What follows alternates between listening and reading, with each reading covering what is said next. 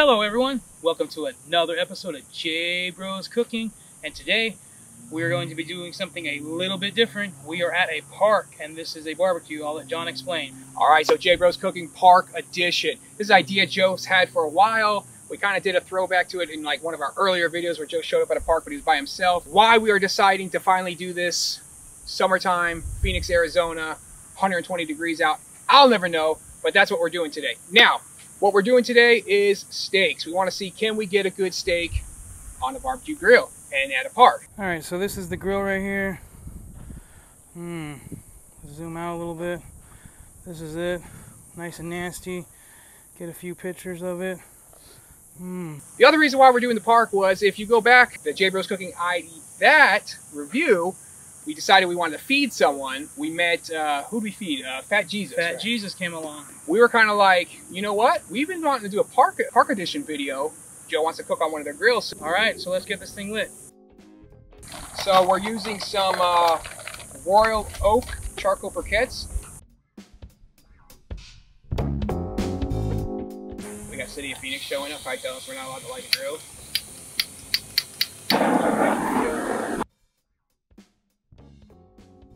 What's up, boss? Uh, I'll let you know. I need my steak well done. If you come back, that's really is what we're cooking. Oh no no no no! No, we, we, really are. I'm good. No, listen, we really are cooking steaks. We do we do uh we do food videos on YouTube. Yeah.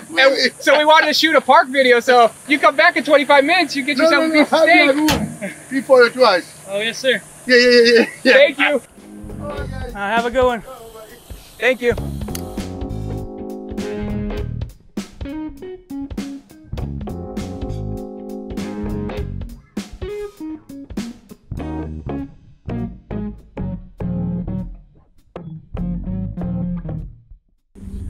Alright, so I got our steak here. Picked it up at a local grocery store called Fry's, which is, I think everywhere else in the world is Kroger or owned by Kroger.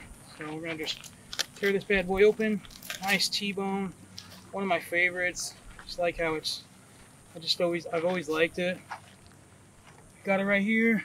Probably a little off to the side. Really indirect. All right. I got a couple of uh, baked potatoes we prepped up in some tin foil. And uh, we're gonna pop these guys on too, right here. Ooh, that's hot. We got some salt, some sea salt. Be pretty generous with it. And then we're just gonna hit it with some garlic. I love garlic on steak. I love garlic barbecued. And this is black pepper. And if you're wondering why I'm holding ice packs, because the cameras take all of about three minutes just standing in the sun before they say they're overheated. Yeah, what's up, Apple? Down. Can you fix that? Steak is on. We're going to let it go probably, I'd say, maybe five minutes, and we're going to check this guy, give it a flip. All right, so now we're just going to give it a quick flip. Hopefully it doesn't burn too much. I had to lower down. Oh, Ooh. that looks real good. I didn't bring a spatula or tongs, so I just brought my trusty kitchen knife, Guy Fieri. All right, our steak is done. We're ready to pull it off the grill. It's got some great smell to it, good, nice char. We did temp it, coming in right around 140, 145. All right, we're gonna pull this off. Here we go.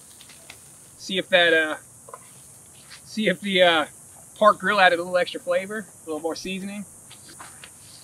Baked potatoes coming off.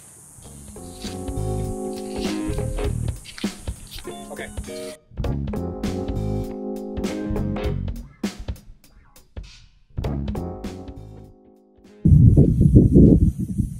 Dude, is that Fat Jesus right there? Hey, he did show up. Man, he must be hungry again. Come on down, brother. What up? You guys are committed in this Phoenix heat. You know. All right, you ready to try some steak like we promised you? Fat Jesus did show up.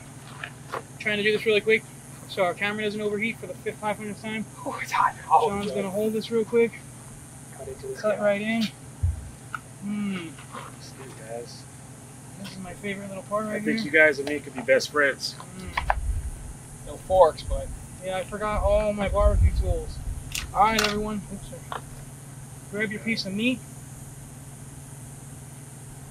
Definitely not quite as medium as I like it, but hey, probably a little medium well, but oh, whatever. It smells good though, Joey. Mmm. Like steak. Hmm. Oh my. Mm. I don't want to say it, but does the park grill add a little bit of flavor to it? Does. Some good steak. Ooh. Let's cut into that baked potato real quick. All right, potatoes nice and cooked. Easy thing to cook on the grill. No seasoning on it. A potato tastes potato. Yeah, probably def- definitely be better if you put a little salt on it, but Yeah, grab another steak. Yeah. All right. All right, guys. So this was our park edition. We met up with uh, Fat Jesus again. He lives nearby. And uh, this was a little bit more of an awkward situation, us standing here. We had a grill. We checked it out like a couple weeks ago. There was a Ramada right here. While we were setting up, the Ramada's gone, and the park ranger happened to roll by. Really nice guy. And uh, he let us know that he's like, yeah, a couple, little bit while back, a lady jumped the curb and took out the uh, Ramada. So thank you for doing that. twenty-five thousand dollar bill for the park there, but uh, so it made the things a little bit more awkward for us. But this was a, a fun video, Don't forget to like and subscribe. We greatly appreciate it. and like we always say, It's always better when you make it yourself. J Bros out.